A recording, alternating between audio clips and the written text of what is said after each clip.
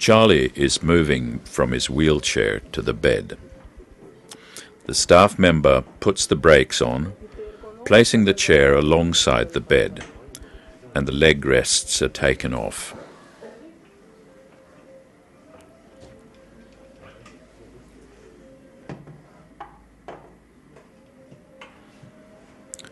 Charlie gets the belt tightly put around his hips and stomach.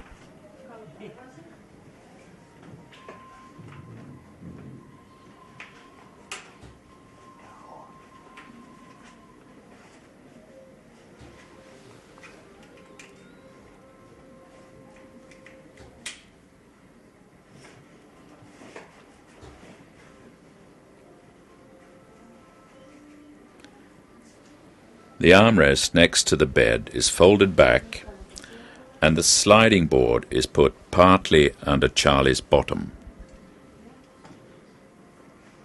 The staff member then sits down on the bed, on the bed part of the sliding board, and lifts Charlie's left leg over her right leg. She holds Charlie's left hand and holds onto the belt with her other hand. She initiates Charlie's movement by leaning forward herself. Charlie bends forwards and pushes with his right arm against the armrest of the wheelchair.